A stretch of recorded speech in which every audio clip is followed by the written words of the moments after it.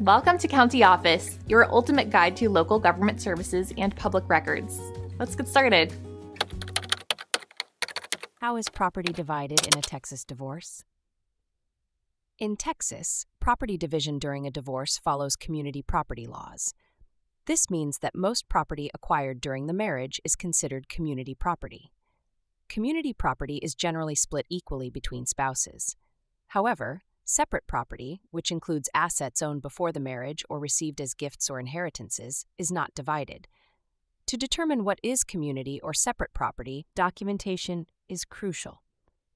Keep records of purchases, gifts, and inheritances.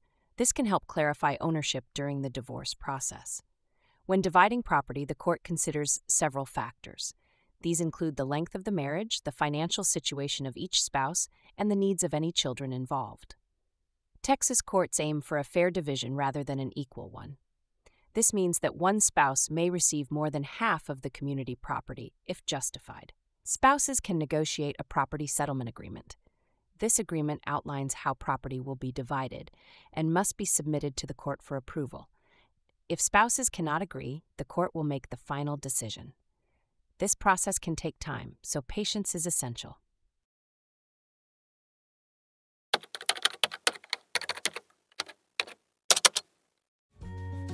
To learn more, check out these links, which you can click in the description below. And feel free to comment your questions. We're here to help. Thanks for tuning in to our video. Please like and subscribe and leave a comment below. See you in the next video.